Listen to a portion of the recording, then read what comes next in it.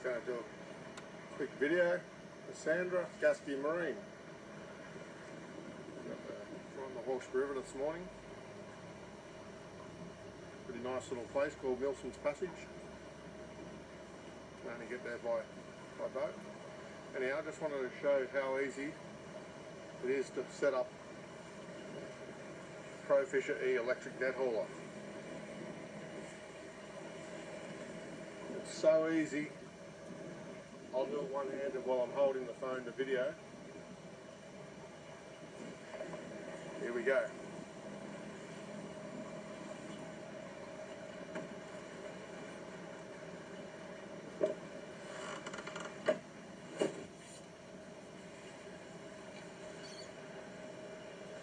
That's in. Turn it around about where you want it.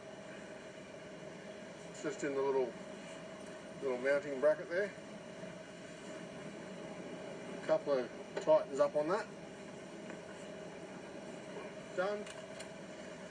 Then you plug that into there, which comes from your battery.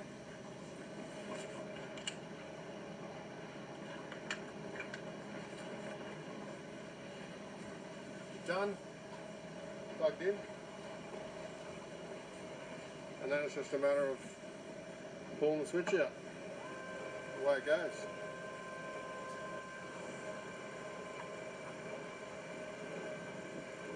You can have different speeds.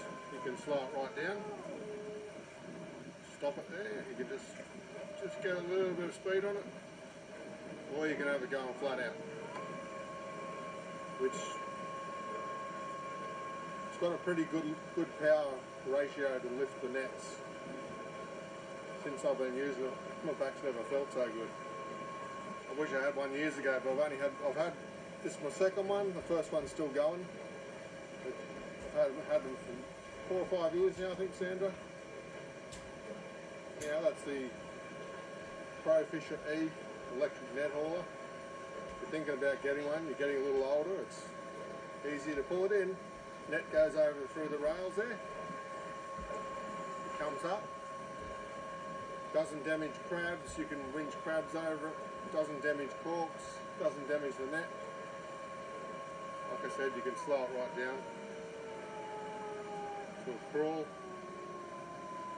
just in case you wanted to slow it down a bit.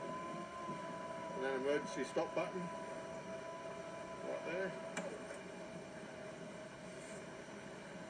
That's it. Adios amigos.